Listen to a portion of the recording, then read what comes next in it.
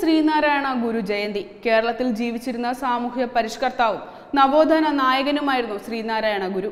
ഈഴവ സമുദായത്തിൽ ജനിച്ച അദ്ദേഹം സവർണ മേധാവിത്വത്തിനും സാമൂഹ്യ തിന്മകൾക്കും എതിരെ കേരളത്തിലെ താഴ്ന്ന ജാതിക്കാർക്ക് പുതിയ മുഖം നൽകി.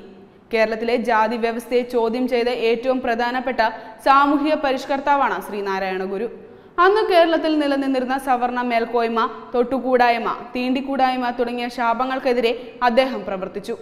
ബ്രാഹ്മണരെയും മറ്റ് സവർണ ഹിന്ദുക്കളെയും കുറ്റപ്പെടുത്തുന്നതിന് പകരം ഗുരുവിദ്യാലയങ്ങളും ക്ഷേത്രങ്ങളും സ്ഥാപിച്ച അവർണരുടെ ഉന്നമനത്തിന് വേണ്ടി പ്രവർത്തിച്ചു.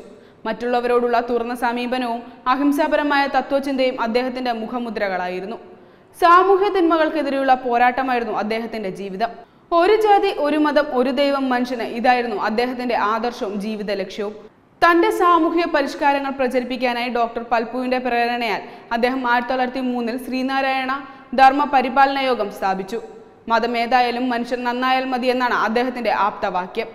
മനുഷ്യരെ എല്ലാവരെയും ഒരേപോലെ അംഗീകരിക്കാത്ത ഒരു വ്യവസ്ഥിതിയായിരുന്നു അക്കാലത്ത്. ഇതിന് പ്രധാന കാരണം ജാതീയമായ ഉച്ചനീചത്വങ്ങളും അതിനോട് ബന്ധപ്പെട്ട തീണ്ടൽ തൊടിയിൽ മുതലായ ആചാരങ്ങളുമായിരുന്നു.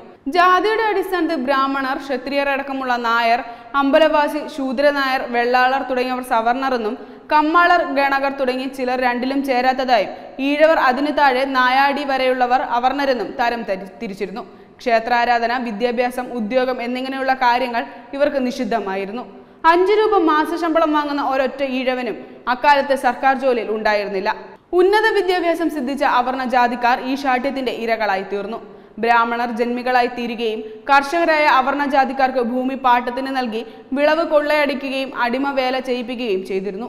അവർണരെ അടിമകളാക്കി വെക്കുന്ന തരം ജന്മി കുടിയാൻ വ്യവസ്ഥകൾ അക്കാലത്ത് ക്രമീകരിക്കപ്പെട്ടിരുന്നു. ഇതൊന്നും പോരാതെ സാമൂഹ്യമായ മർദ്ദനങ്ങളെ അതിക്രമിക്കും വിധമായിരുന്നു അവർണജാതിക്കാരുടെ മേൽ നടത്തിയിരുന്ന സാമ്പത്തിക ചൂഷണങ്ങൾ. അടിക്കടിയുള്ള യുദ്ധങ്ങൾ കൊണ്ട് ഖജനാവ് ശോഷിച്ചപ്പോൾ പതിനാറിനും നാൽപ്പതിനും ഇടയ്ക്ക് പ്രായമുള്ള അവർണരിൽ നിന്നും തലയെണ്ണി നികുതി ചുമത്തി. ഇതിന് തലവരി എന്നാണ് പറഞ്ഞിരുന്നത്. കൂടാതെ വീട് മേയുക മീൻ പിടിക്കുക എണ്ണയാട്ടുക കള്ളു ചെത്തുക തുടങ്ങിയ എല്ലാ തൊഴിലുകൾക്കും നികുതി ഏർപ്പെടുത്തിയിരുന്നു.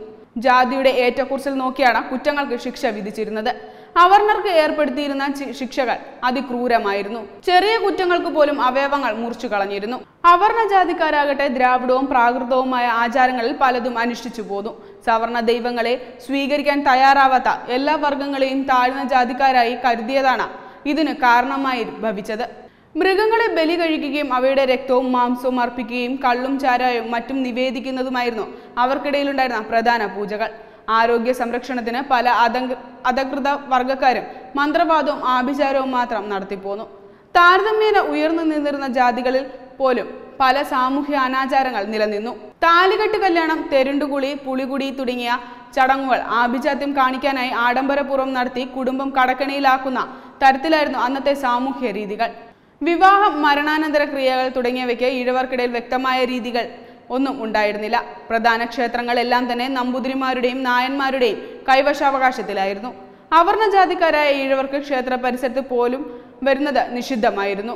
എന്നാൽ ക്രിസ്തു മതമോ ഇസ്ലാമോ സ്വീകരിച്ചാൽ ഇതിൽ വിട്ടുവീഴ്ചയുണ്ടായിരുന്നു. അവർണർ തൊട്ടാൽ ഉണ്ടാകുന്ന അശുദ്ധി മാറാൻ നസ്രാണിയെ കൊണ്ട് തൊടിയിച്ചാൽ മതി എന്ന വിധിയും അതെല്ലാം കണ്ട് സ്വാമി വിവേകാനന്ദൻ കേരളം ഒരു ഭ്രാന്താലയം എന്ന് വിശേഷിപ്പിച്ച ഘട്ടം വരെ എത്തി നിന്നു അന്നത്തെ ജാതി ആചാരങ്ങൾ doctor Palpu Sahodaran Ayyappan T K Madhavan Ayyankali Chattampi Swamikal തുടങ്ങിയ പലരും അന്ന് സാമൂഹ്യ പരിഷ്കരണത്തിന് ശ്രമിക്കുകയും അതിൽ വിജയിക്കുകയും ചെയ്തവരാണ്. Web desk Tatwamayi news.